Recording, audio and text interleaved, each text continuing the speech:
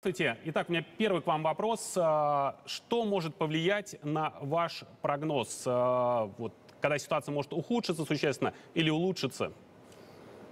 Здравствуйте. Прогноз э, дело такое. Берем статистику, берем матрицу дефолтов, накладываем ее на наш рынок и дальше ожидаем, насколько будет все позитивно или негативно.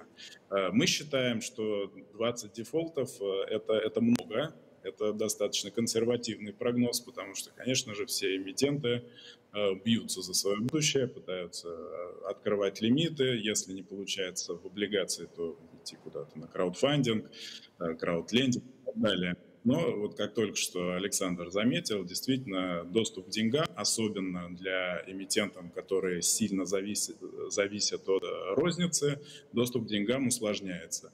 И плюс э, мы видим еще важный момент, что э, традиционные, назовем так, инвесторы бумаг с невысокими рейтингами и даже без рейтингов сейчас склонны идти в более качественные бумаги, более качественных эмитентов, потому что доходности, которые дают верхние эшелоны, вплоть до ОФЗ, они стали интересны при э, там, гораздо более низком уровне риска или даже при полном его отсутствии, ну, с поправкой на то, что все это в масштабах нашей страны.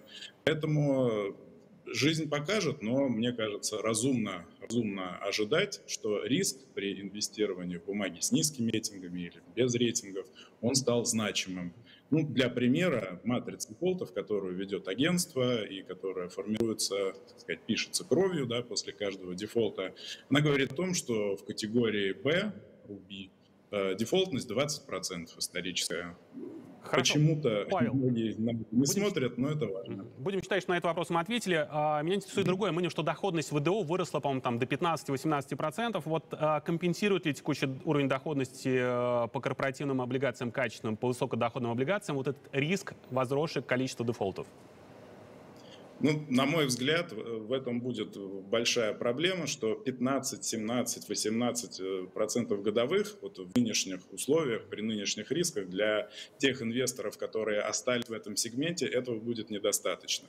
И э, вопрос будет в том, потянут ли бизнес-модель оставшихся эмитентов э, ставки в 20, там, 21, 22, 25. То, на что инвесторы те, у кого осталась ликвидность, те, у кого остались деньги, на что они согласятся. Потому что более осторожные инвесторы из 15% с высоким риском уйдут в 10%, где риска почти нет. Спасибо. Это был Павел Митрофанов, генеральный директор компании «Эксперт Бизнес Решения».